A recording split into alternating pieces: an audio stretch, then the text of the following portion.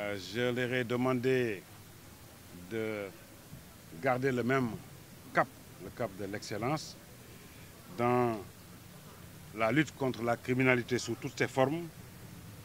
Je vous parlais des attaques à main armée, je vous parlais du vol de bétail, je vous parlais du trafic illicite de bois. Autant de phénomènes sur lesquels euh, nos autorités reviennent euh, très fréquemment pour nous rappeler à l'obligation euh, de meilleure performance dans le cadre de, du combat contre ces fléaux. Euh, L'ensemble, des orientations que j'ai données donc pour lutter contre la criminalité et prévenir euh, le terrorisme